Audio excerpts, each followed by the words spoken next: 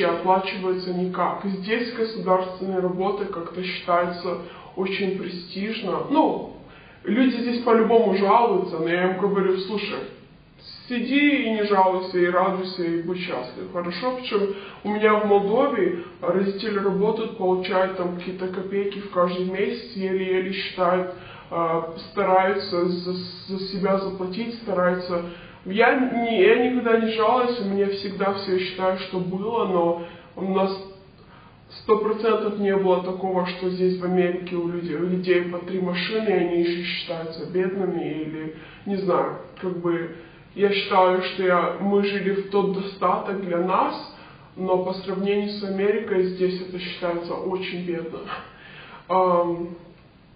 Так, и самое нелюбимое, то, что я считаю, что иногда не все люди, но здесь люди, они не понимают и не ценят то, что у них есть.